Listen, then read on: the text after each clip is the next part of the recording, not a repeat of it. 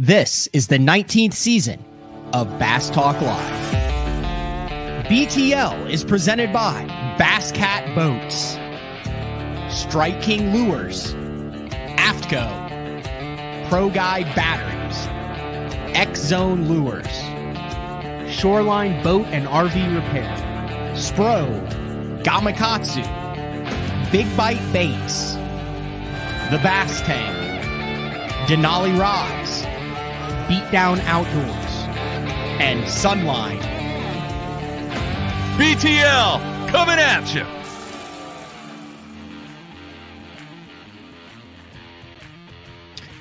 Good evening and welcome to a late night edition of BTL Bass Talk Live, where we're going to talk about bass fishing second BTL of the day. Thank you everyone for jumping on, but we had to fit it in because uh I guess you call him the man of the hour. Well, one of nine men of the hour, recent additions to the 2024 Bassmaster Elite Series. And I got to be honest, uh, I didn't think it was going to happen from the beginning. I just because I knew how hard it is to qualify, but uh,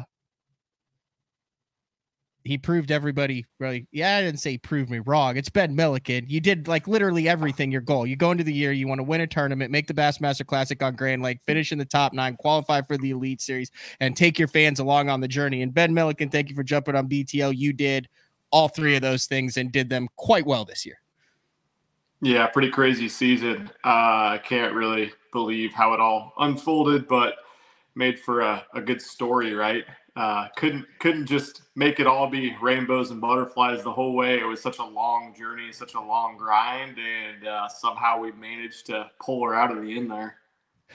You're already learning the ways of the road. Uh, you've had uh, your kid on the road, the wife on the road, traveling for the last few. Now the last last five days, basically, you have fished a tournament, and then you did what every guy does after he wins. You went old school. You went to Disneyland right after qualifying, right? Which I thought was ironic because I mean that used to be the thing that all the Super Bowl guys did, right? That's right. Yeah. We. I mean. It, it wasn't like I flew across the country on my private jet and did that. We were 45 minutes from it, but uh, yeah, we, we did go to Disney World for the day. It was awesome. Uh, was that planned like before the tournament? Like, was that the whole plan along, or was it like, crap, we just did it. We're going to freaking Disney World. I wish I could say it was kind of like a spur of the moment thing, but we, we built a couple days and stayed a couple extra days at Airbnb because I wanted to uh, spend some time with the family afterwards. And we, we had a pretty good idea we were going to go there. All right. Uh, a lot of people on live tonight. Uh, we're going to kind of dive into the season. I want to do I want to do a juxtaposition of the year. I want to talk about worst decisions, best decisions, toughest day, easiest days. I want to kind of dive through it because the cool thing was, like I said at the beginning of the year, you are uh it's it's interesting. So for the last 3 years I would say there's been one prominent social media influencer that's dove into the opens. Uh, you had, you know, Oliver and I with Big Bass Dreams who went out and said, I'm going to throw a freaking glide bait for eight events and see what happens. And credit to him, the guy did it. And I know he had some close calls, but it didn't end up great for him. You had Rob Turkla, Lunkers TV, who came out, did some NPFL stuff, fished some opens, uh, limited success. Like I said, it's not easy out there. And then you come in, but you're a little different. You have a little bit of a tournament background. I had you on before the show. Talk about kind of why at the very beginning of the year, why you decided that 2023 was the year you were going to jump into the opens. Yeah, I, I, mean, it was a lot of reasons, and I've thought more about that. You know, why I did it this year, mm-hmm. as people have kind of, you know, a million people are commenting now. Oh, we, we knew you would qualify. We yeah. knew you'd, you'd make it. It's like, oh, I'm glad you guys did because it wasn't uh, wasn't something that uh, seemed like an achievable feat for a long time, but I mean, it was a lot of things. That obviously, I, I mean, I jumped in because it, it, felt like the right time for me. Uh, I loved that they switched to the nine tournament schedule um, because I have no familiarity with the large majority of lakes around the country um, that are on the tournament schedules. And so for me to go fish one division of the opens and have to fish against locals on fisheries that in the past, you know, haven't been great fisheries a lot of times uh, for how I like to fish. I felt like um, didn't make a lot of sense. Um, and two, I mean, I, I, feel like I'm versatile. I felt like the longer it was, the longer the season, the more points that counted, the, the better chance I'd have to get in. Um, and, and honestly, just like thinking back on it before the season started, I was honestly like a year ago, probably a month before open sign up, I was at a place where I had achieved a lot of what I wanted to achieve around the Nebraska area as far as different places I've traveled, different ways that I've fished and made content. And then I made this big move to Texas two and a half years ago. Um, not necessarily just for the bass fishing. Um, it was it was a, a, business move a lot for me with 6th Sense and Waterland being down here. Mm-hmm. Um, but uh, I really started focusing so much on the, the bass fishing out of my boat side of things, got way back into tournament fishing. And um, I, I, started to really think like something was missing with me as far as the competition side of things. And I, I just felt like uh, I don't mean this in an arrogant way, but I was making content and fishing in ways and showing people how to fish in ways that had never been documented before with big baits, forward facing sonar, and showing people these things. And it was kind of like I was spinning my wheels. Like, of course, it's amazing to get 20,000, 30,000 views on a video. That's um, that's great. Uh, and it's it's amazing to inspire people to go out and fish and teach people to fish. But I was feeling a little depressed, honestly, and like I had more to offer than to just make videos like hundreds of other people are doing. I felt like I I could easily make a living doing this for the rest of my life and I don't like to do things the easy way. Um, unfortunately for me, many times, um, and for my family, I, I, don't like to take the easy route. And I wanted to challenge myself and and and just kind of put it out there and see how it would go because I know I I realized I, I feel like I, I had more to lose than I really even thought of at that point with you know my credibility of um, you know, you tune into an angler on, on, YouTube and you see him go catch fish. Well, you know how it is, Matt. Everything's relative. Anyone can go out and catch a fish. Anyone can mm-hmm. go out and catch a giant fish. Anyone can go out and catch um, a fish on a big bait or a specific type of bait. But it doesn't mean anything if it's not like, well, Joe Schmo actually couldn't go do that. And tournaments are the only way to really be a proving ground of that. And so, I mean, it was a lot of things like that. But I needed to scratch the itch, and I just wasn't. I wasn't getting a lot of enjoyment and fulfillment anymore from just simply making YouTube videos and, and social media content. And I put it all out there. So right off the the bat, as you were preparing for the first event uh, back in March on Eufaula in Alabama, did you know that? I mean, were you feeling that excitement again, the nervous energy? Were you feeling like it was a right decision before you'd even made a single cast? Yeah, I think um, I was feeling the, a lot more nervous energy with that one than any of the other tournaments by a ton. When I got the email as we were like pulling into Alabama uh, with the roster of the the people fishing the tournament, I, I, mean, I don't know that they send out a roster for the tournament. I've never mm-hmm. fished open before, and I start seeing all these Elite Series guys on it and these uh, incredible locals on it, and I'm just like, I was already like mentally trying to wrap my head around all the incredible anglers in the EQ field. Now we got to fish against these guys. Like you, you have self doubt, of course, taking on a, a, massive new challenge, and you have the uh, thought in your head like, "Am I worthy of competing even against these guys?" Because I never have. Um, but yeah, absolutely, man. Um, it, it, settled me down, of course, getting there, getting out, spending time behind the graphs, doing what I love to do. And then, like we talked about way back when, day one of the tournament, show up in my first spot, catch a limit in six casts. That's a great way to start the season and kind of get the monkey off the back and get the get it going. I don't think a lot of people understand the pressure that you were under, and you mentioned it a little bit just with the eyeballs that were on you. Uh with all your followers, with all the people who watch your videos. I mean, there's 230 guys that start this thing out, and the the vast majority you know, you got friends and family that are seeing where you are in the standings, but you've got an entire fan base of MFers. And I feel it a little bit with BTL too. Like, I mean, it's like you you have a, a bad one and you're like, damn, like I'm gonna hear about that one from because there's some people wish, that just I love. I, this, I, wish I was this guy who just had his mom and dad and yeah. There's some people that just love to see people suck, but I mean, I take that as stride because there's also just for every person that loves to see you suck, it seems like there's 10 people that are behind you no matter what. But uh, did you know how much of an impact it would have on your fan base when you started having success in the opens, or was that even a surprise as to how many people came along with you on every cast of the journey? I mean, I can't say I really expected it because I didn't think that I would get fifth in the first open and first yeah. in the second open. And so it it really was like crazy the traction at that point with where it was going. And again, not being arrogant, but you, at that point, like those are the first two opens I've ever fished. You mm-hmm. do get like I, I have so much respect for these anglers and, and who I'm fishing against. I knew they're incredible, but I did think like it's possible like I could win a couple of these things and finish, you know, and get a check every tournament. It's possible. At that point, it felt that way. Um, I, I I don't know. Yeah, and so I, I, it was amazing to see how many people did get behind it. Of course, you know, just people come out of the woodworks. Everyone's got negative comments, and those those really started to uh, pile up kind of later in the season too. And the "see I told you so's" kind of started piling up too. And uh, you know, I'd be lying if I said I didn't read some of the comments. You know, that day one in Florida, I go in and I I, I bust that bag and I went from 17th to 10th, and um, I still had people in the comments. Oh no, it's not possible for him to come back. He's, I'm just, and I was just like, okay, let's do this.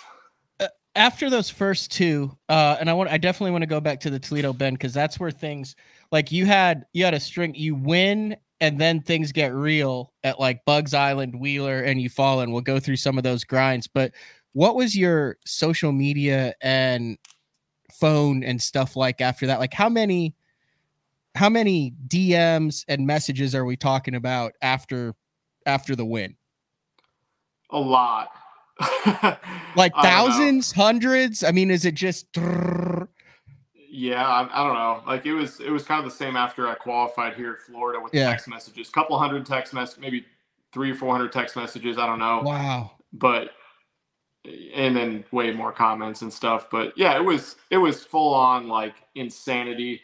You know, you go on and talk to Dave Mercer, and he's got a nickname for me, the next big thing in bass fishing, which I'm just like, whoa, pump the brakes on that, Dave.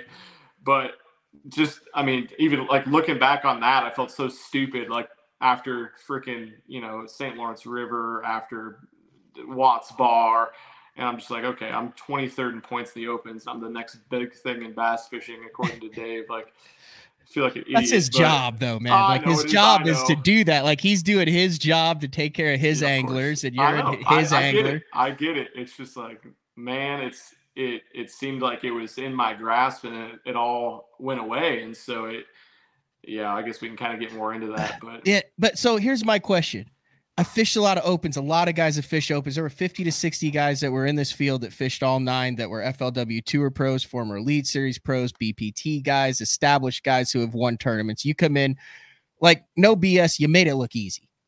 Fifth and first. Uh, I could tell you were green because when when you texted me before each game, you'd be like, Yeah, I'm catching them. No one ever says that. I don't care if you're a best friend that you're working with, you're never like, Yeah, I'm freaking crushing them. And then when I say like how good, you're like mid 20s.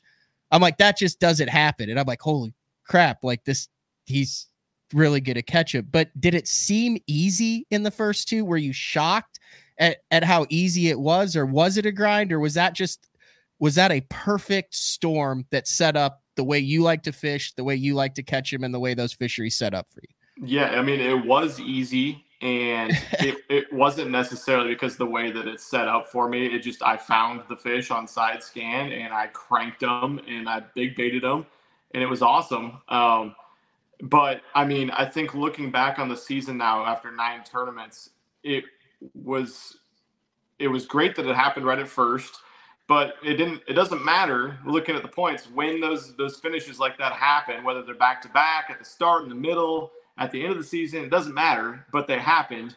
And um, I made the most of the opportunities I was given because when you're fishing a nine event season and you have to have 18 really solid days in the water, you cannot mm-hmm. slip up. Maybe you can slip up once.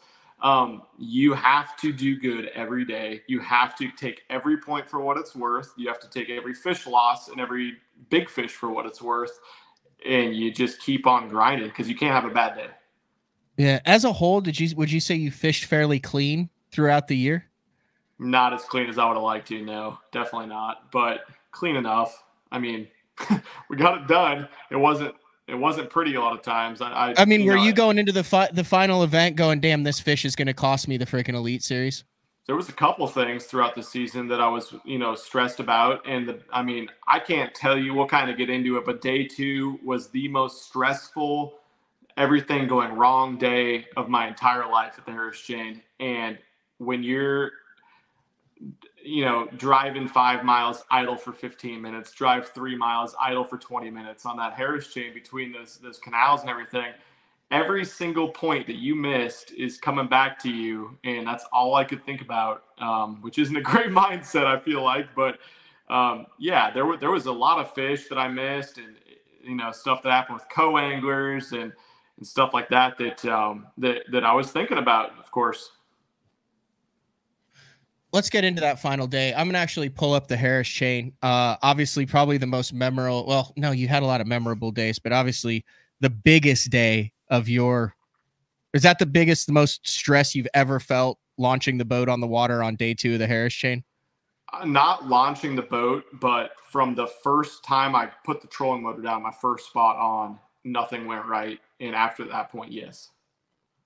I actually What- felt so much stress day two of the Toledo Bend Open. Um, I had to like go pull my boat off and sit by myself and like listen to some some loud music and and, and hang out a little bit to chill myself out because I knew what I was on and what was happening. But um, yeah, once once I felt what was going to happen on this Harris Chain tournament, when you have one of these days where I don't know if everyone has these type of days, but you know that no matter what you do, something is going to give you adversity from all different angles. Like that's what was happening, and I could feel it happening because I have those days filming too. Um, yeah, I was stressed out from the first cast. Okay, so Harris Day two, it was on live. A lot of people watched it. Uh, every time I watched it, you were like sitting and waiting for something. And- yeah, that's that's and that's I could not- my mom too. I couldn't like, imagine the stress because uh, in the few situations that I've been, I've been like, oh my gosh, three minutes. That's six casts. What? Uh, and and you're literally like in a traffic jam trying to get into where you are, knowing you're only going to have a couple hours to fish in there. Mhm. Yep. So I mean, that's the way it was. They had the coverage from 8:30 to 11:30 our time, and during that period, I mean, I fished for I I was probably fishing until nine o'clock. Didn't catch any, and then I began my trek down to uh, Lake Apopka on the south end, where I had to do all those idle zones, and then I get down to the lock, and there's 20 boats waiting in a lock that holds three boats, and um, it, it wasn't that way the day before. It was I was the first one there, and uh, it, at 11 o'clock, I got there at the same exact time or similar time, 10 30, 11 o'clock. There was no one there for a different reason. Um, and so I was like, uh, what's going on here? So And the lock was closed on day one or something. day one, it was closed when everyone that ran there immediately went there. And so they turned around and were gone. I didn't Oh, you realize it had didn't know that. closed. And so I just showed up at 1030 and there, I had to like pull the thing to wake them up in there to make them open it up for me. And I went right through. Oh, so you had the whole lake to yourself on day one. Um, there was probably a handful of boats still, but yeah. Yeah. All right, I want to add this because I want to show people. Uh, this is a really this is uh, Google Earth, but for those who don't know, so you've got the Elite Series on the line. You guys take out of uh, Harris. I, it's been a couple years since I've been there, and I didn't go to this one, right? So you take out of Yeah. Harris to get to where you were going. Yeah, up on the have to- northwest side there of Harris, up uh, Yeah, at Venetian Gardens. Yep, over. and then yeah. you have to go through Eustis. Yep, you idle. It's 12 minute idle there from Harris to Eustis. Not that I was counting. Then you go into Eustis, and then from Eustis, do you have to go You into go from Dora? Eustis to Dora. Yep, so that's And so- 14 minutes. That's the is that the whole Dora Canal and all that? Yep. Did you see the gnomes? Do they still have the gnomes in the Dora Canal? There- yeah, there was gnomes. Um, there was everything under the sun. Uh, mostly uh, pontoons going really slow that you couldn't pass. And then you then you go, I, you go into Beauclair and you idle at that in between in between Dora and Beauclair over there on the east side there. You're right. Yep. And then you blast. And then you across get in- you get into this canal Yeah, you idle a few times through there, And then you take this canal. down. all the way down, and there. This is that that lock that you were stuck at is like right in here, right there. It's south of there, I think. That's a bridge. That's You bridge right there. south of there. Nope, south. Right there. Yep, there it is, right there. Yep. Little bitty lock. Tiny. And now you're three lakes away. You're what, 40 minutes in? More than that. It took two hours to get there exactly from launch down to where I was fishing. Yep. And then you go all the way down this whole canal, then you bust out into Apopka, and then uh and then there's Apopka. So and then that's where you fish. Apopka's been very popular over the past five years. Uh more so, more so, more so. But the chain was fishing a little a little odd this year because of a lot of it was dirty, right? Yeah, it was all dirty pretty much. so then you get in here, you can, and then you have to go back. You have a whole two hours to get back. So on day two, you didn't get down there till what noon, eleven, something like that, Yeah, I think I rolled in like eleven forty or something. and you had to leave at what time? I ended up leaving at 1.30. That's not that much time with a No, camera, with everything on, and you didn't have anything in the box, did you? Nope, zero fish. So what happened on the first part of day two that made you not go there right away? That's what I want to know. I mean, okay, so uh, day day one, I show up to a spot where I fish, and I, I was the only spot I found that had a group of fish on. It was a school like twenty, and they were all like a pound and a half to two and a half pounds. But I was like, cool, I'll start here, catch some, because it was not easy on the chain anywhere. And uh, the fish in Apopka from practice were biting way better. They'd set up way better on the brush and stuff from like 10, 11 o'clock on. So I was like, I'll go get a limit and then I'll go to Apopka and I'll crush them. And so I start on the first spot and Logan Parks was actually fishing it.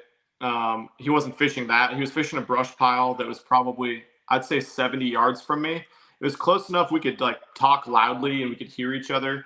But I mean, it was I was fishing a, a shell bed with a school on the, the side of it. He was fishing a brush pile. If we casted, we probably wouldn't be able to hit that our lures on the end of a cast. Mhm. And so, um, and so we're fishing for a second. Clark Reehm rolls in on pad, and um, I'll just freaking say it.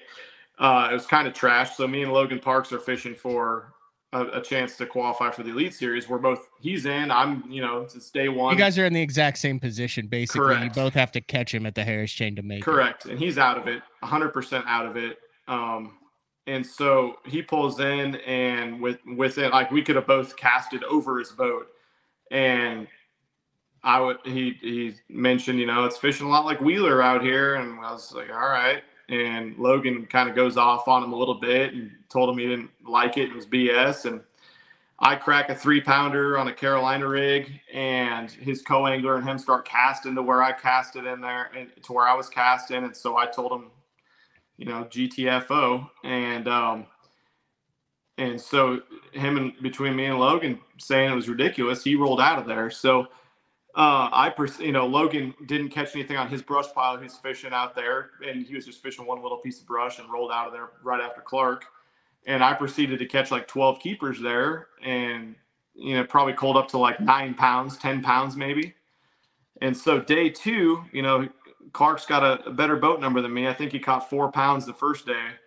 And when I showed up, he was sitting directly on top of the the fish I was casting on, and it, I mean, not catching anything or anything like that. So that had me a little frazzled.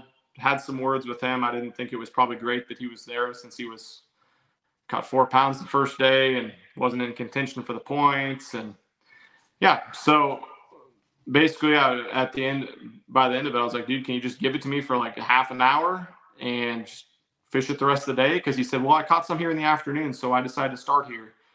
And I mean, he caught like four or five pounds. Um, and so he uh, he's like, yeah, I'll give you until 8:45, and then I'll be back here, and you can come fish it with me the rest of the day if you want to. And I was like, all right, well, I'm not coming back the rest of the day, so you can have it. But anyways, I fished it till then. They were all messed up. Fish wouldn't set up right. They were just bumping my Carolina rig. Wouldn't wouldn't commit to it. And you know, I, I start whipping out spinning rods. I start hover strolling them. I start drop shot and throw a two eight little swim bait on them, and they would they would bump it. I, I'd catch shorts, just craziness. And uh, ended up, I was like, I got to get out of here. So I roll out of there with no keepers. I mean, are you nine? Are you 15, vibrating at this point, or are Yeah. you still chill? Um, two thirds of the way vibrating. Yeah. And you decide, let's go run three different lakes and go to Popka. Yeah, and I, I mean, it was that was all based on like I found good stuff from practice. That stuff got beat up. I had fished a couple of it, that my best juice spots in uh, in Eustis and in Beauclair on the way down the first day for like 15 minutes of stop. Didn't get a bite. Um, then there, it was like Beauclair. I show up in practice and I catch a three pounder first spot, like first five minutes of practice. Catch three pounder on a shell bar. I was like, catch, and I was like, boop, mark it just kind of like scan the trolling motor like 50 Mhm. yards, cat, and I throw in catch a 10 pounder, and Like, I'm like trying one it. What's that? One zero? Ten? Yeah, yeah. Okay. I just make sure I heard that Yeah. right. I mean, I didn't actually weigh it. Um, you'll see on the video, I was trying to hide it from the college kids in the tournament, in the 200 boat plus college tournament. So I just turned the boat, and I could have grabbed him, but I kind of just let him jump off. And uh, yeah, it was it jumped right next to the boat. It was Wow. freaking giant. Okay. Um, yeah. And so I was like, all right, this is great. And in practice every day, there's like 70 boats in Beauclair and scanning like this little tiny lake in this one Mhm. piece of whatever that's super easy to find. And I figured it got beat up and it did. It was done. So yeah, I didn't have anything else to just stop at or go to really that I had confidence in. So yeah, I said screw it, picked it up, ran down there, and we get almost to the lock and almost to where we can see it. And there's all these boats coming back towards me um, Justin Kimmel, who I know, and, and he's like, dude, there's 50 boats at the lock, turn around. And I was like, no, that's not possible. And I had talked to the lock master the day before, as some uh, uh, an older lady. She was real cool, but she was like, yeah, it broke down several times today. We had to change out all the, the fuses on it multiple times. And I'm not going to be here tomorrow. We got a new guy. So if it breaks down, it ain't getting fixed. I was like, oh God. So I figured it had broken Yeah. or something. But I start, and then Brandon McMillan comes back down, says the same thing. And then Brucey was in front of me. He turns around, goes back around, and I was like, oh God, here we go. And so I rolled down there, and there was like 18 or 20 boats when I showed up. And I was like, is it broken down? What's going on? And they're like, no, no, they're getting them through decently quick. It's just, you know, it, it took seven minutes It's per what, cycle. three, four, three, four boats at a time. Three boats. Yep, three boats Oh, tight. tiny lock. Yeah, so it's like cut a minute and a half to get in there, minute to shut the door, seven minutes up, minute to open the door, let them all out, close it, seven minutes down. So I had to wait for like four cycles, and um, uh, then I finally get through after about an hour and a half. Did it consider did you consider turning around? I mean, what made you was it the only thing you had that you felt was your best chance to put five in the box? Yeah, and I figured I could go back to that school maybe and grind out a limit. I had other Mhm. stuff I could try, but I thought I could. I thought I probably had to top ten it, which I didn't end up having to, uh, but I thought I had to top ten it, and I, I figured I probably needed thirteen pounds to top ten it. Were you aware that Bobby was one spot behind you and was in like 50th and you were in second after the first day? So like you had the one guy you probably don't want trying to chase you down in Florida directly behind you. I had thirty nine points on him after the first day. Did you And know that? I mean, you looked. Oh yeah, yeah. We all, everyone knew we were. Dude was doing the math. Why? I mean, you think about it, Yeah. especially with the spots I had and where I was running. Um, like if I would have had six, seven pounds on that first spot, which was very, very easily done, um, I would have been qualified, and so I wouldn't have had to run down. But um, yeah, I didn't catch any, and so you know, you start doing the math in your head, and you're like, well, it's good that Bobby was in 50th because he could only move up so far. He wasn't in 127th. Yeah. Um, but at Because the same Logan time- Parks was in like hundred some. it was. He, he had a he big sh- day too. Yep. But it, I mean, it's it's not like when you go into an event where you need to make up that. Well, there's double points because I can drop Yeah. and he can also gain. So I had to drop, you know, whatever that is, 16, uh, 18 points, and he could Which is make up easy to do. points, Which is Oh, easy easily. to do. And so, Especially I, in Florida. It's literally one flip either way. Like, correct. you know, you ended up finishing in ninth, so you had one cushion spot. You didn't know that at the time, but Bobby was one flip away from qualifying. A couple guys were one flip away for qualifying, and there's a couple of guys that were in that were one flip away from not qualifying. Yep. Correct. So I mean, I I, I wasn't going to let the the foot off the pedal. Um, I, I knew I had to. I, I'm not. I, I knew I would be kicking myself if I was like, all right, screw it. I'm turning around and gonna go fish for five hours for for small ones and try to catch seven pounds or ten pounds at most, and we'll see where that gets me. And if I don't get in, like I knew I wouldn't be able to live with myself if I didn't go down there and try it. Because in what I had down there was not like oh, I'll fish around and flip my cricket around and hope I get a limit. It was like there's 30 fish on one brush pile and 12 of them are over five pounds, and it's the deal. So I knew what I had down there did you do a bunch of homework before you went down there? Because I know the first time I went down to Florida, I did so much homework and talked to a bunch of people, and it still didn't really help because you can get so spread out down there and so many different lakes, and you have the Griffin thing, and you have the Apopka thing, and you literally have like a decision to make it take off. Do you go one way? Do you go the Dora Canal? Do you stay in that? I mean, you, I mean, did you do a lot of extra homework going into that event, that final event? Yeah, I mean, I, I try to all the time. I'm such a nerd, and I just I, I've put so much of my time studying and trying to prepare uh, ahead of the my my video schedule this year to try to make this happen. Um, but I put so much homework in, and like you're saying, man, I had so many people telling me, "Oh yeah, your big bait fish you're gonna be, you're gonna crush them on a big bait." Yeah, go to Beauclair. It has five foot visibility, dude. I put the troll motor in the first day. I fished Harris, Little Harris, Dora, Beauclair, Eustis, and I never saw one foot of visibility on any of them. And I was like, oh, I'm not going to be able to top 10 this one. I'm going to be screwed. But, um, you know, luckily, day two, I went down and practiced in Apopka and I got on this brush pile deal and I found this this cool little spot. I'm not going to talk too much about it because I got to fish there here in a couple months. Um, but, uh, but, um, I caught him there, and so that I caught him good enough that I was like, okay, well, I'm not going to Griffin. I'm scratching Griffin off, and I mean the lakes aren't that big. Yeah. Really, a, Apopka is huge. It's the biggest one, but it's completely featureless for the most part. And, and so a lot of dead really water small. in it. Yep. Really, Harris probably fishes the biggest because there's a lot of um, shell and grass and points and ledges and different types of grass. But um, yeah, that that let me kind of be more comfortable with just being like, all right, well, I'm just gonna go scan and I'll try to figure something out in uh, Apopka a different part of the lake for a little bit. But besides that, I need to find a place to, to catch them by the ramp um, on the way out and on the way in, and hopefully find a couple spots on the way in between.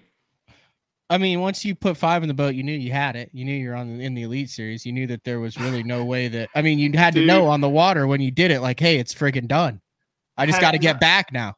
No way, man. I caught 20 really? pounds the first day. Yeah, dude. There was a bunch of 17, 16 to 18 You didn't think bags. you didn't think once you put 10, 11 in the boat that you'd have 15 a day and you're like, all right, I don't think there's any way it's gonna Hell no, dude. I, though the problem is like if Bobby would have caught a 23 pound limit, which yeah. I I mean, it, uh, there was like four guys that if they would have caught 20 pounds, they probably would have passed me.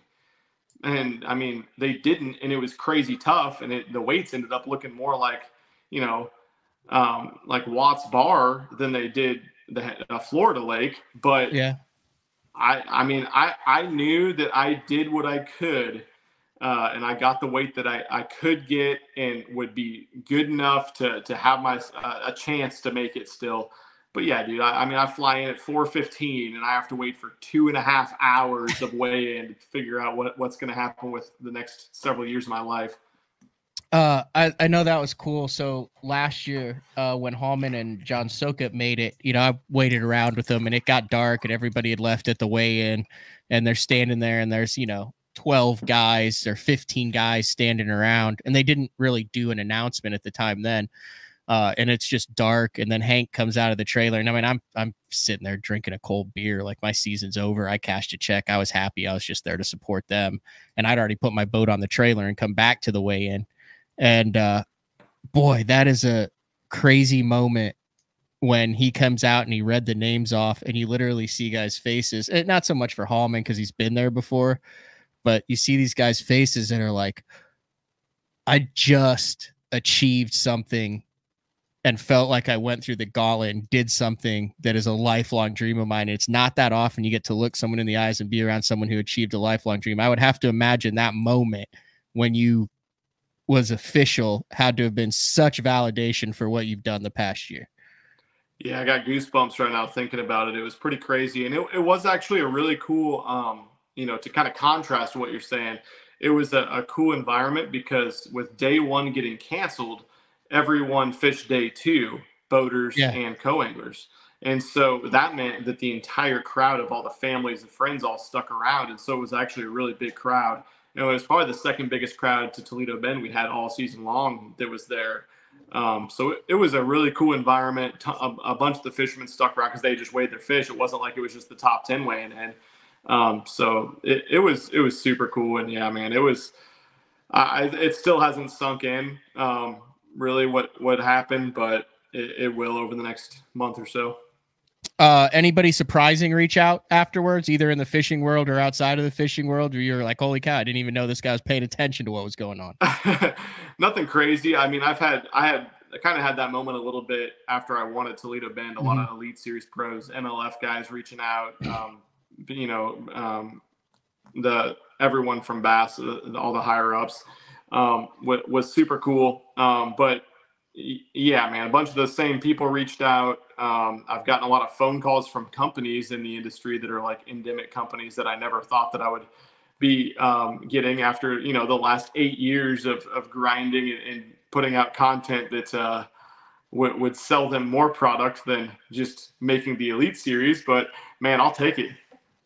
Does that surprise you? That uh, I mean, that's been a debate over the last couple years as to what is is moving more product. How is tournament success at the highest level moving more product as opposed to the connection that social media and content creators are making selling product did it it, it surprised you how much the endemic companies still value tournament success yeah a little bit um, almost like they didn't know who i was or anything until i qualified which is fine mm-hmm. I, i'm not saying anybody should but i mean I, I know from experience or in my personal experience that what sells the most product by a landslide. But that's me. All I can speak for is myself. I don't know other guys making videos, but they they move. But um, yeah, it surprised me a little bit. Huh.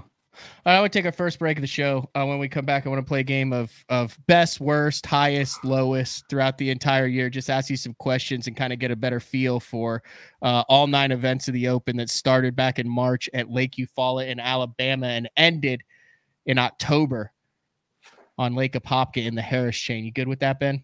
Let's do it. All right, BTL. Late night BTL with Ben Milliken. Is that an old fashioned? Nah, man, it's straight whiskey. Oh, straight whiskey. Okay. All right. Your whiskey? So, Are you drinking yeah. your own whiskey, talking about how you qualify? Oh, that's just savage. All right, BTL. On a Wednesday night, we'll be back right after this. The new Puma STS has been redesigned from the ground up. With the angler, design, function, and performance in mind, nothing on this new offering was compromised, and the only thing carried over from the previous version is the name. Based on the Soft Touch series hull that started with the flagship Jaguar, this new model is nimble and performs incredibly well at all speeds with either a 250 or 300 horsepower engine. Featuring a new 96 inch wide body footprint, this hull measures out at 20 foot 7 inches in length Industry leading design coupled with tournament winning performance. The Puma STS from Basscat. Feel the rush.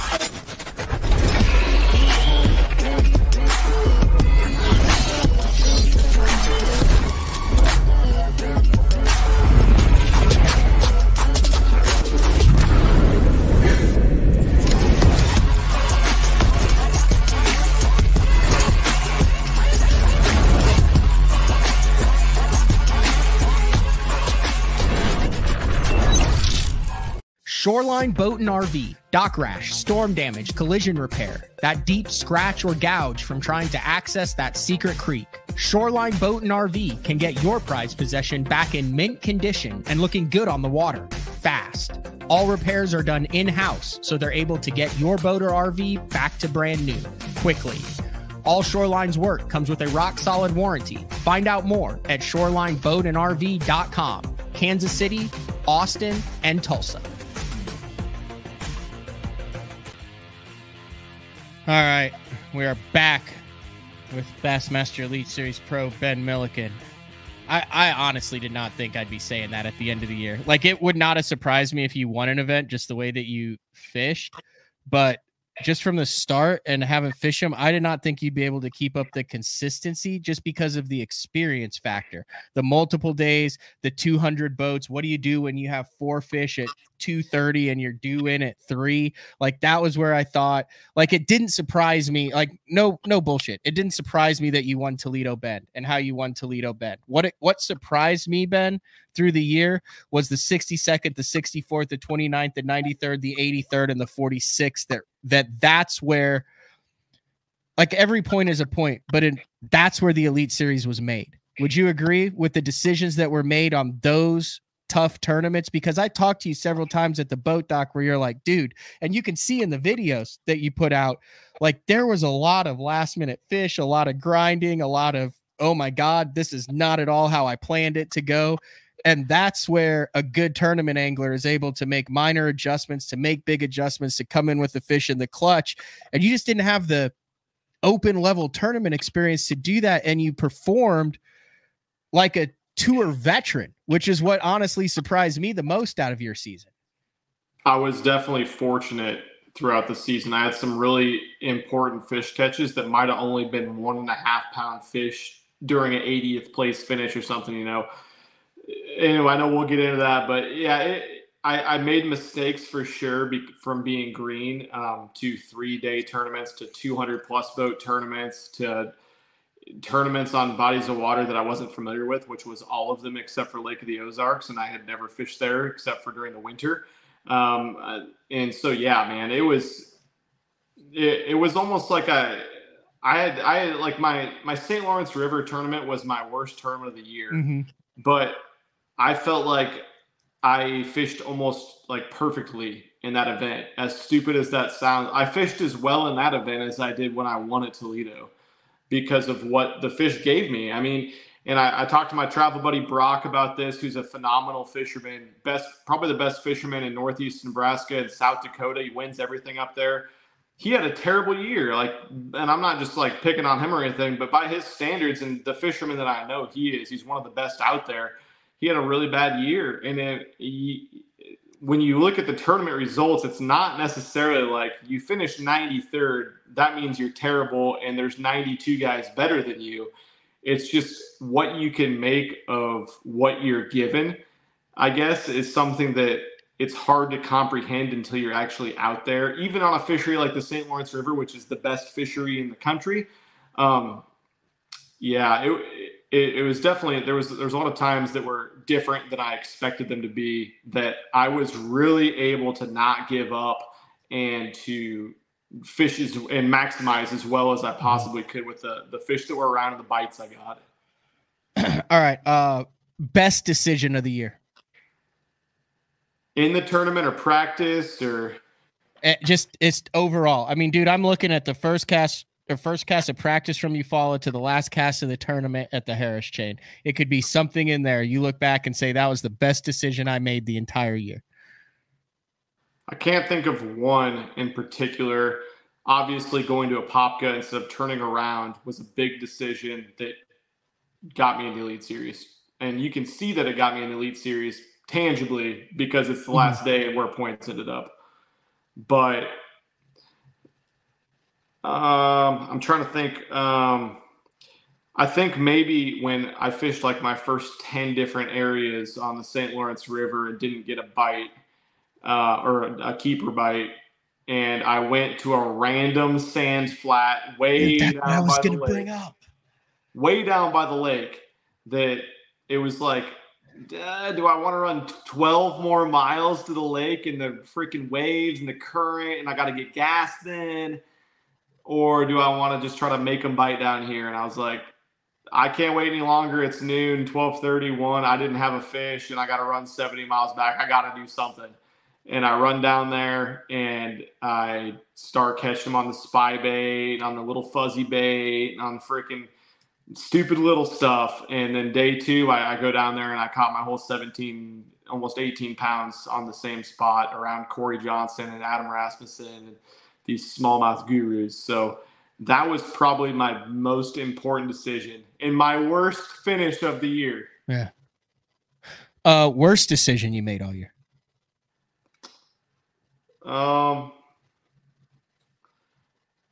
I'm trying to think of a real bad one. Uh, one that stands out, which is a stupid thing, is I was I was fighting a two and a half pounder at Eufaula, Oklahoma, and I tried to boat flip and it broke me off on a spinning rod that would have given me another pound and a quarter, which would have given me 30 ish points. Oh, yeah. That decision was probably my worst decision of the year. Yeah, those haunt you when it when they're yeah. your mistake. Like your mistake, like that's the one that I just I like beat the steering wheel on the way home and drive 20 hours straight when it's 100% on you. Everything performed flawlessly because you could and it always seems to happen and then you start questioning, at least I do. I start questioning my decision-making ability because I'm like, well, the only reason I did that was because of the stress of the moment even though I wasn't feeling in it, which means that the stress is causing me to make decisions I normally wouldn't make. Exactly. And it was like one of those where it's like the third fish, uh, you didn't catch any, and then you pull up at 10 o'clock. It's the third keeper in a row on that stretch, and you're just like, this is awesome. I'm on them. And I broke it off, and I was like pissed, but I was like, whatever, I'll just freaking catch him. I caught like one keeper the rest of the day for like the next five hours. But um, that's probably my worst decision. I didn't have any where I was like, oh, should I go fish safe fish mm-hmm. and catch 15 pound limit five miles from the ramp, or should I run 90 miles and gamble? I didn't really have anything like that where I made a bad decision. Uh, best day on the water all year. Um, best day I that I that I felt the best or that I fished the best. Just in your opinion. I probably fished the best the second day at Toledo Bend, but I felt the best the third day. Okay. that makes uh, sense. Yeah, toughest day on the water all year. Day one at Watts Bar for sure. Two keepers. Only day I didn't weigh a limit. That was massive to come back and finish 83rd there. Yeah. Because you I had got, a stack on the second day, what, 11, 12 pounds? I caught a four and a half pound smalley the second day. Is that Huge. what got you in the elites? That one four and a half pound smallie if you go back and take that sure. away? Yep. But the, I mean, that's probably the same way with several yeah. fish throughout the year. Yep. When you're when uh, you're the last or second to last person in by 35, 40 points, then it's yeah, yeah. it's going to be that way. Uh, biggest thing you learned all year? Oh man. Um, That's tough. Uh, I would say biggest thing I learned was it doesn't matter how good you catch them in practice and not to freak out when you have a terrible practice. Because I went from like having phenomenal practices for a couple tournaments, and then I, I think the the really set in at Eufaula, Oklahoma, where I was like, my season's over. I'm screwed. I haven't caught the first day I caught 14 pounds, and I haven't caught seven pounds since then I am so screwed. But really, that doesn't mean anything. It, you don't get anything for catching them in practice. And I kind of just like rolled that mindset on, like whatever. If I had a good day, try to learn from it. And if I have bad days, that means nothing mm-hmm. because it's practice. And uh, for some reason, there's five days of practice. Didn't you catch a freak show six at Eufaula, Oklahoma too? Huge. Yeah, I, that was one. I mean, that's what I'm saying. Like that was what taught me to think that way because that area was a great area. I caught a four and a half and a six in the same like stretch right there. And I found it and I caught keepers there and I just kept moving on. I didn't like break it down because it was practice. I didn't fish it thoroughly. And it, it really, I mean, it's super like, it's a obvious thing to think like that you're not going to fish that thorough in practice. So obviously you can go back and catch them better in the tournament. But it really made me change my mindset on like you need to understand in practice if you catch a keeper or a couple keepers in an area, it's a good area and it's okay if you suck the rest of the areas in practice. Just go mm-hmm. try to find more areas with fish in them And then in the tournament, when you start getting that positive feedback, you start getting some bites, some more active fish in the area, then you break it down. And then um, you have the confidence to, to maybe get that six pound bite. That's really, that's good stuff there, Ben. Uh, and that's kind of what I did at Apopka too. Like the, yeah. the brush pile I had that I caught that I caught almost, I caught my whole limit in day one of the tournament and I caught three of them the second day of the tournament. And it, I caught like 10% of the fish that were in it.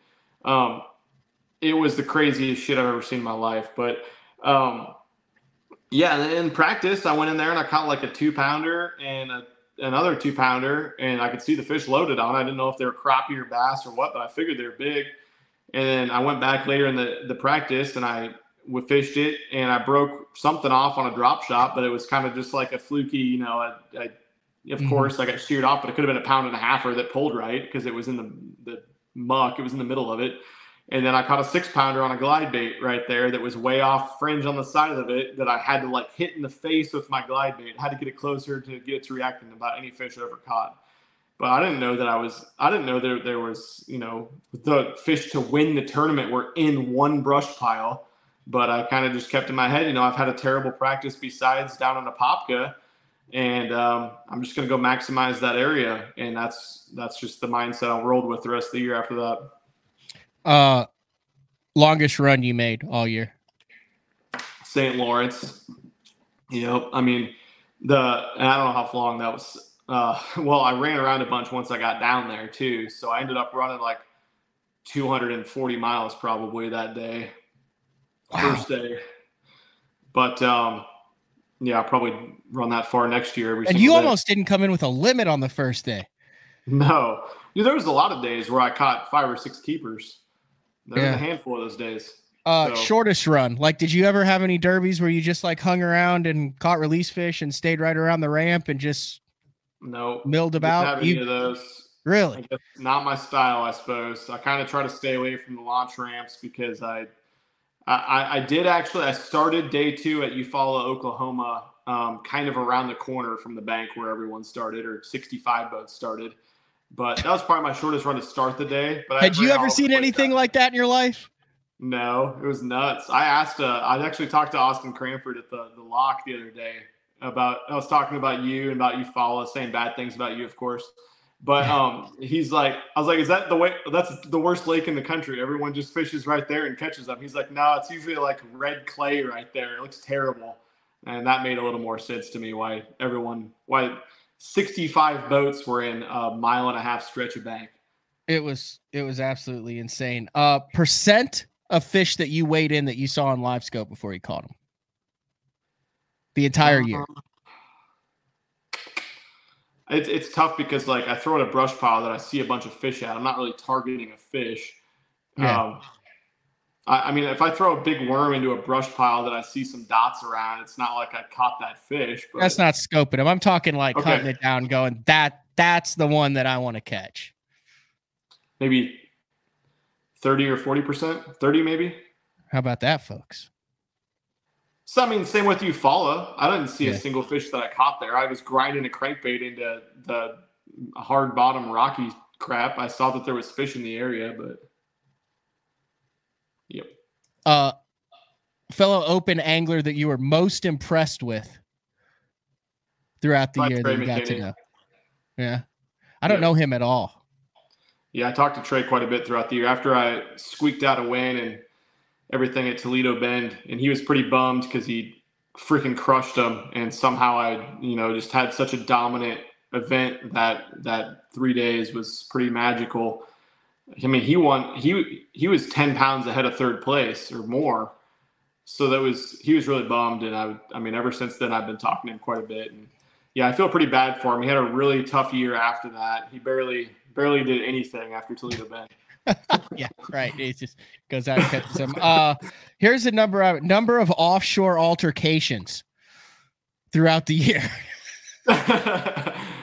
altercations, um, yeah, disagreements. Um, just the one at Harris Chain, really. All right. Yep. First, are you con- uh, are you concerned about that at all? What's that? Oh, go ahead. Go ahead. Keep going on oh, that. Second day you follow when I pulled up and Gary Clouse was on where I was. I had a, I, I mean, like I kind of talked about it. I think after that in in our podcast. But, yeah. You know, you, you catch all your fish, day one in one spot. You pull up and Gary Klaus, you know, veteran elite series angler, boat company owner, owns Phoenix. Uh, Oh, I mean, not old, just but like distinguished. He's very distinguished. Distinguished and um, intimidating is sitting on the spot, and you're just like, "Hey, uh, Mr. Klaus, uh, I caught all my fish here yesterday. Could could I come fish next to you?" And he, he was just like, "What place are you in?" I was like, "Uh, I think like 18th."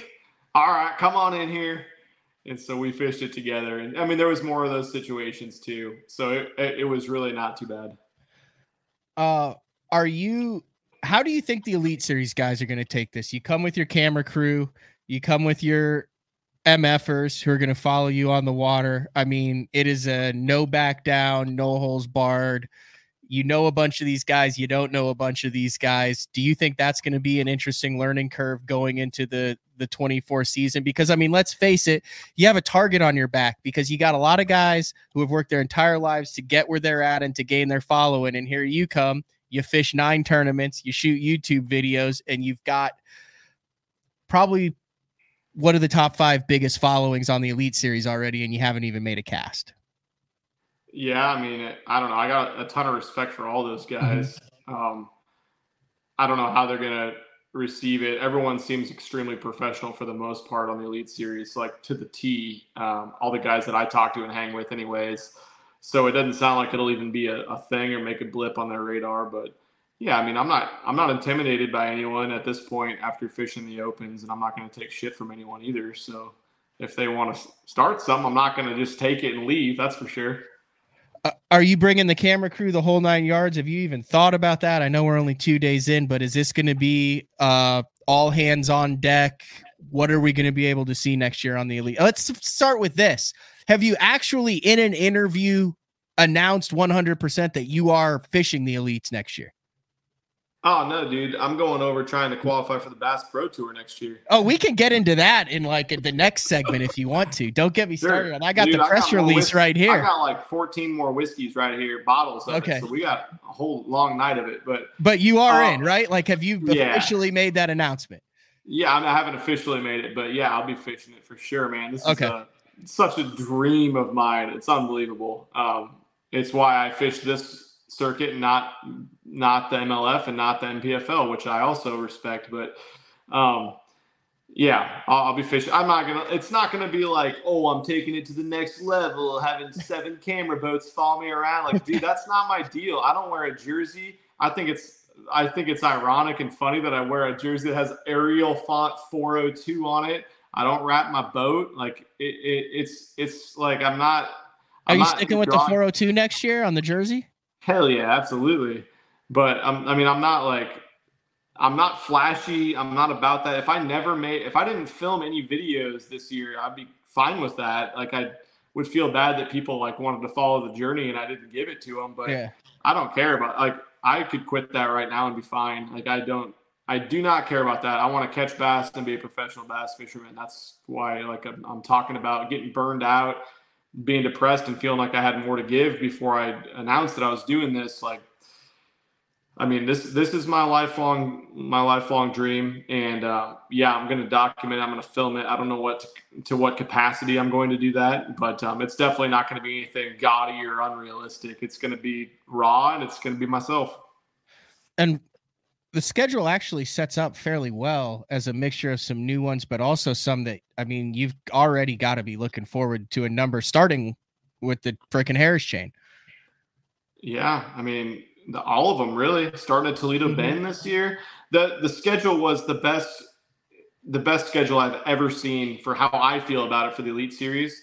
And honestly, I mean, it's it's kind of sad to say this. When I saw the open schedule, I was actually out fishing, filming content.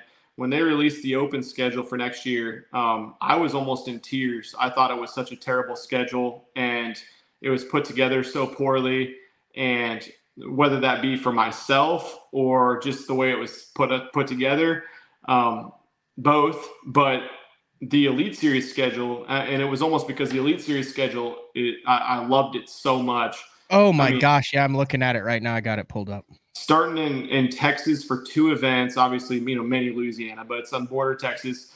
But um, that's a, a, phenomenal time to hit both fisheries. Um, and then fishing the Harris chain in St. John's this year. Well, what about Fork? What about Fork in February? Go, not having to go deal with the freaking bed fishing and the all the history of all the the January and February Florida events, not having to to do that. Uh, and then we go to Murray, which is a scoper's dream. This last year, one of the best fisheries in the country, one of the hottest fisheries in the country. Wheeler's probably going to suck, but I know it at least. Smith Lake is the one I circled that um, I need to learn the most about and figure that out. Um, and then, of course, you know, Champlain and St. Lawrence. I, I, went to Champlain for four or five days after we fished St. Lawrence, and I went to St. Lawrence after that. I'm I'm excited for the schedule, big time. Yeah, it, that should be in your wheelhouse to where you're not lost on any of those fisheries. Well, not what that a, you were lost on any of the new fisheries. What uh, what did you think about the open schedule for next year? Are you gonna for sure fish them or? Yeah, yeah, I like the open schedule for next year. I do like um it's a no-win situation for bass when it comes to the opens. How do you do the qualifying? You're going to upset the guys who want to fish 3. You got the guys who want to fish 9. You've got guys all over the country. I mean, it's a national elite series travel schedule and lakes with very little payout. I mean, you're one of the 0.5% that made money on it. But I do like that they gave the Midwest its due after so many years. Uh, it's not easy with the permitting and the lakes and the fisheries to go up into Minnesota. I like that they made a concerted effort, did a lot of research on that to come up with a the lake in Minnesota. St. Clair hasn't been on the open schedule in a long time, and obviously the Mississippi River. Uh, uh, it's it's not ideal. Uh, there's some real challenging fisheries on there. I mean, Okeechobee's going to fish really small. Santee uh, is no back to backs. Yeah, no back to backs. It's going to fish small. We got to go to South Carolina to start the year and to end the year. Uh, across the country, man. That's what I it is. But, but, I mean, dude, for a guy from Oklahoma, I mean, it's 12, 14 hours up north. I've got Eufaula. I've got uh, the Arkansas, Ouachita and Arkansas is badass in February. That's like a cool one that no one saw coming. Like I, I'm cool with it. I mean, I like it, but I mean, I'm also a guy that doesn't want to see a lot of nasty rivers and tidal fisheries and stuff on the schedule. So, and then to end it on Hartwell, I'm, uh, you know, the Bass Nation Championships going on right there, and I'm like, I can hardly even like look at that coverage because it, I, I want to be there so bad for that. Like, you know, those tournaments where you're just like, oh, I want to be. I love Hartwell in the fall. My favorite fishery, favorite time of the year. Gotcha. So no, I'm looking forward to it. Uh I mean, I guess you're you're you're in this now. Do you want to talk? You want to? Do you have thoughts on MLF, the professional bass fishing world at all? You want to take some questions from the fans? And we got over 800 people on live here. If we take our final break, you want to take some questions and say some controversial sure. stuff? Yeah, let's let's take some questions. That sounds great. I don't have anything crazy to say about the MLF. That's not really my place to say it. I'm not yeah. afraid to say anything about it, and I not afraid to share what I think's happening, and it's what I think a lot of people think and know is happening. But I think you got through the opens at the right time, is what I think. Ben, I think so too. That's for sure because I think there's going to be about seventy five percent of that field in the next year. We'll see. All right, we're gonna take our final break of the show when we come back. Uh, get your questions in. I'll be scrolling through them on the uh, on the feedback in the comment uh, for Ben Milliken. Uh, BTL on a Wednesday night. We'll be back right after this. Elite Series Pro Darold Gleason here. My Pro Guide batteries keep me going on those long tournament days and long practice days. Always plenty of juice, never fail. The best part about Pro Guide batteries, it's the people behind the company. They have over 40 years experience in the battery business, keeping all of us fishermen out on the water longer, catching more fish. Check them out at ProGuideBatteries.com. What's up, Bass Talk Live fans? Brandon Palaniuk here. And ever since I won a couple Bassmaster Elite Series events on X Zone Lures, I've been getting a bunch of questions of what makes them so special and different. And really, the truth is, it's in the details. The little details, things like no cheap fillers in their plastic. That gives you more lifelike action, more realistic and vibrant colors. But don't just take my word for it. Go to www.xzonelures.com and check them out for yourself. I'm the kind of guy that never leaves a house without a pocket knife, and Gamakatsu's come out with the EDC series of knives. EDC stands for everyday carry, so whether you're on the water or off, you can always have it with you. The best thing about it to me is that assisted open feature. With this D2 blade, you've got it right here at your fingertips, so if you can't find your scissors, you need to cut a knot, you need to cut your braid, you've always got it. Make sure you check it out. Never leave home without your Gamakatsu EDC knife. Born in Japan, using technology, innovation, and precision, Sunline produces the widest selection of fishing lines at the most technologically advanced line factory in the world.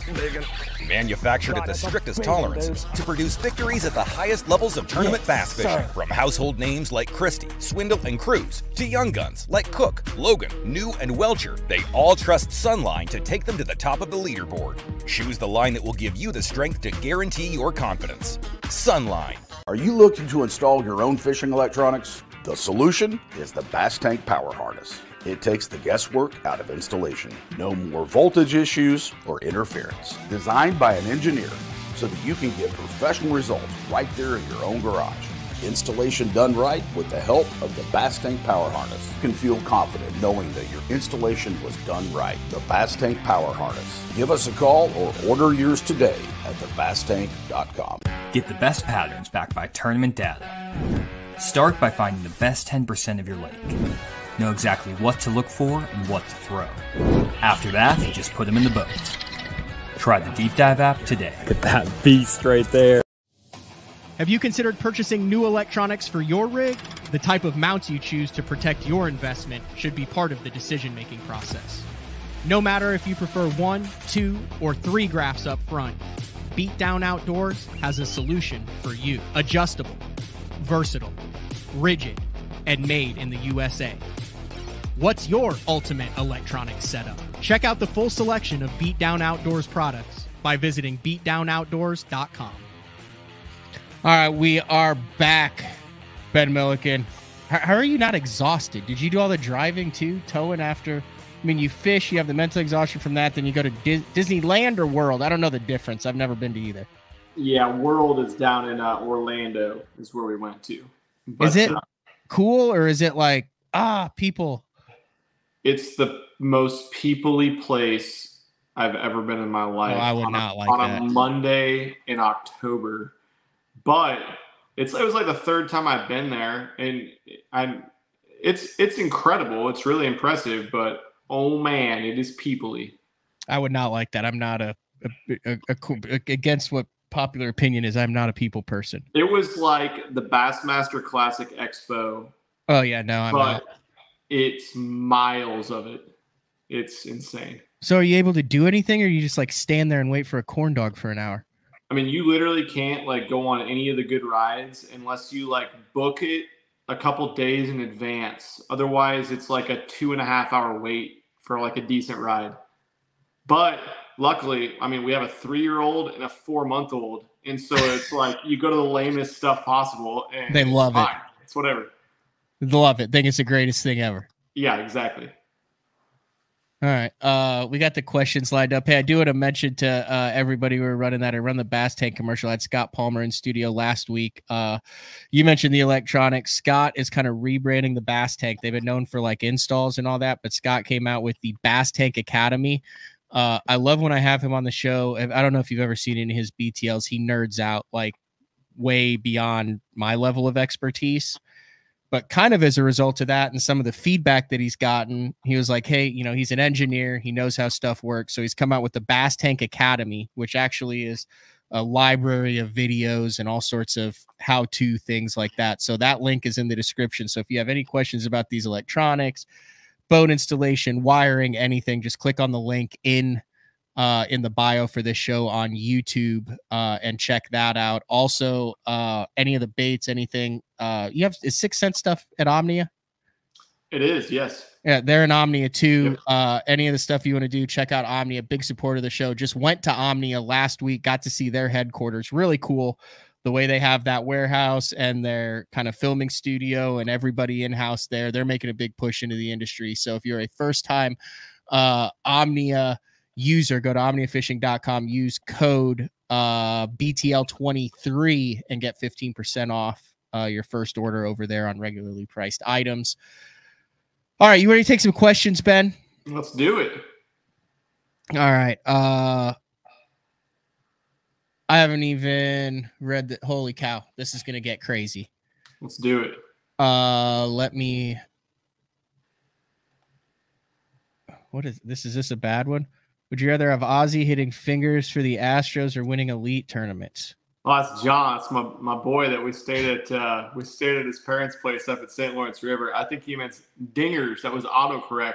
Okay, Um, hitting dingers would- for the Astros. I'd say Ozzy hitting dingers for the Astros for sure.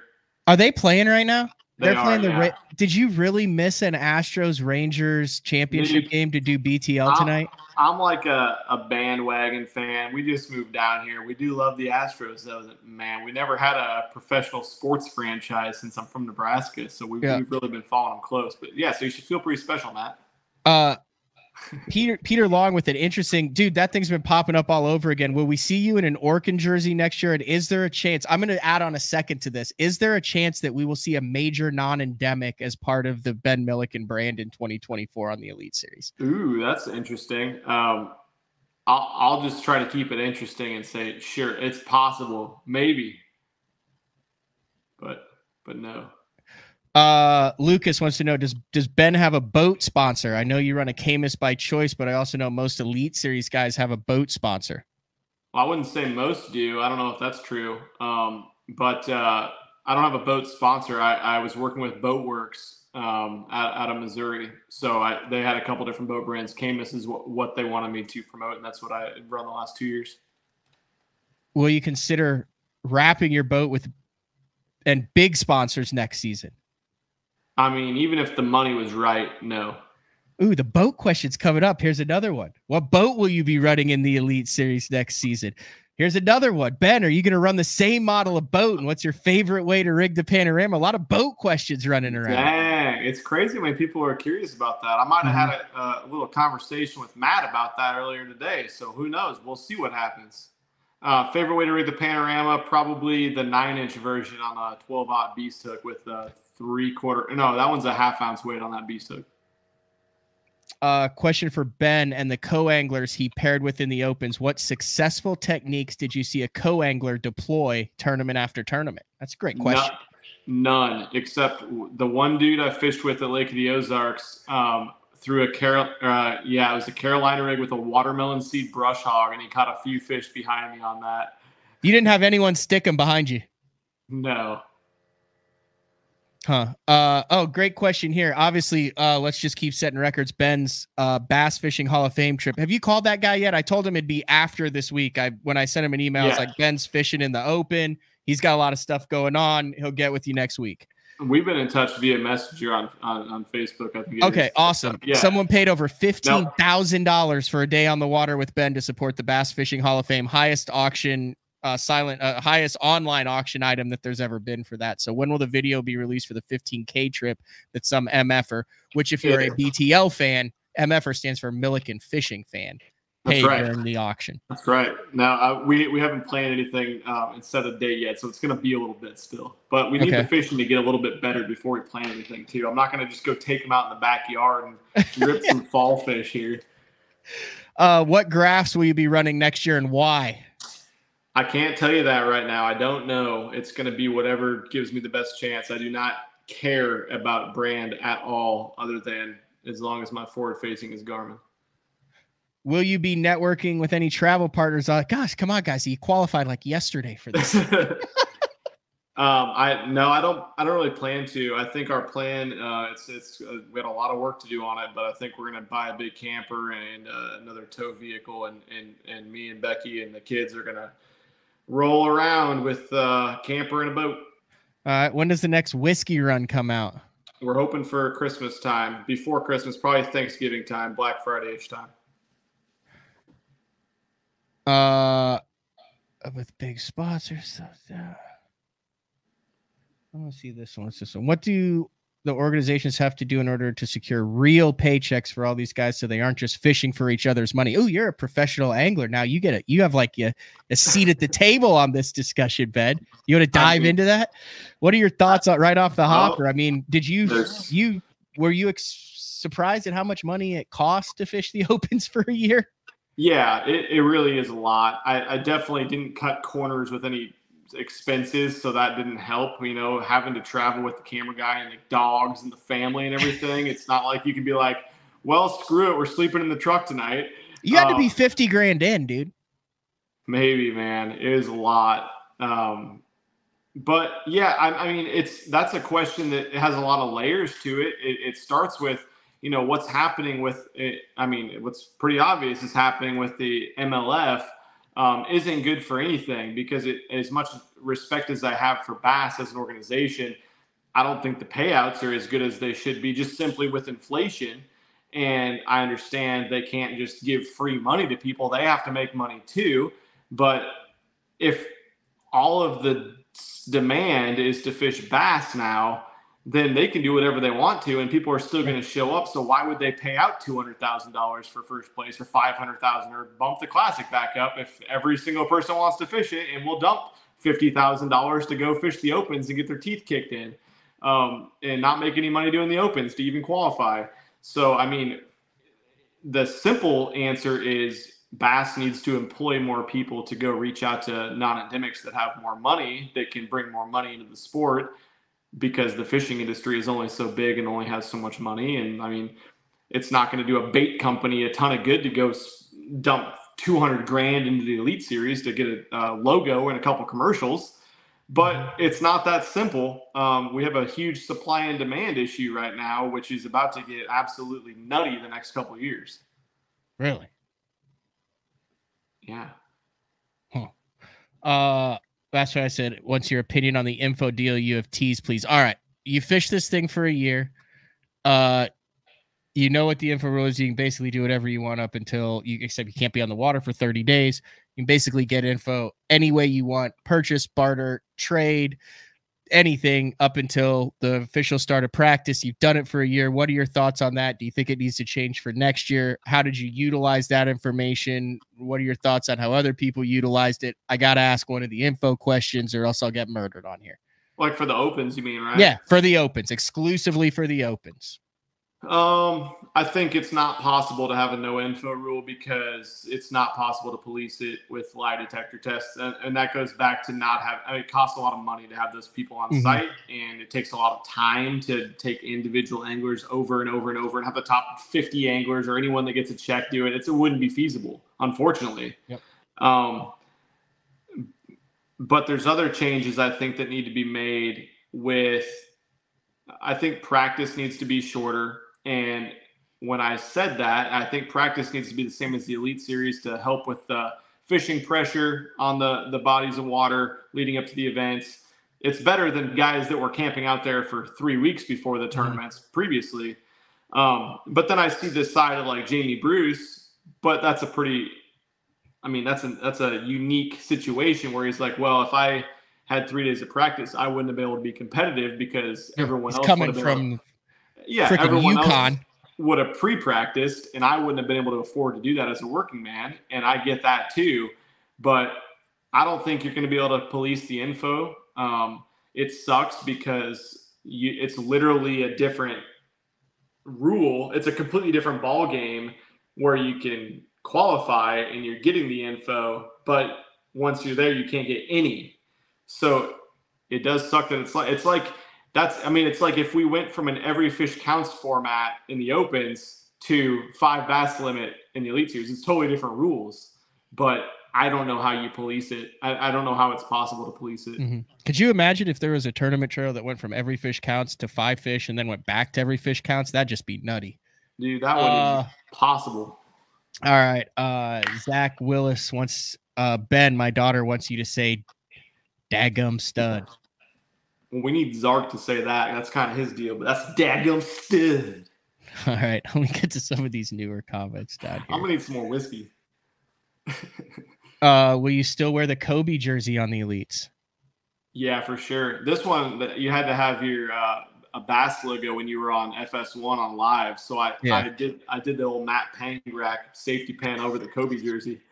Dude, I, I love that thing. Hey, here's what I'll do. I know like you've had a long night. We'll go a couple more questions and then uh and then I'll let you go. We're already an hour and 20 minutes in. I, and you got two young kids, and you I gotta go have to feed the baby, fun. Matt.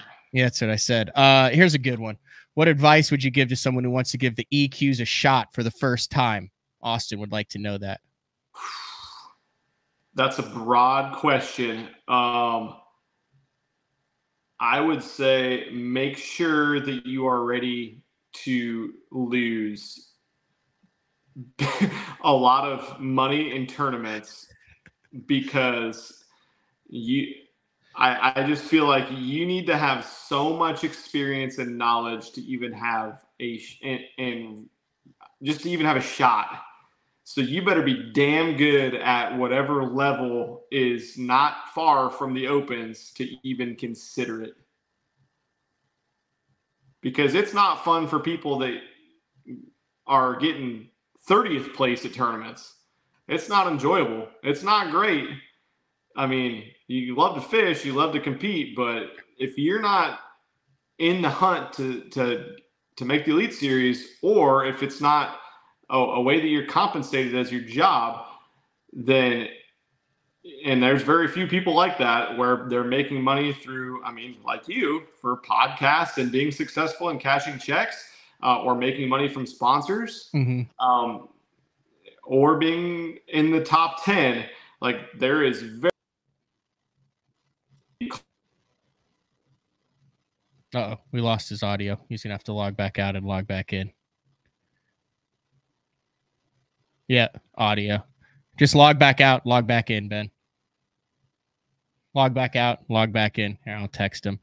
We still have a couple more ads we can run. Let me run a couple more ads and we'll be back then. Uh oh, you back?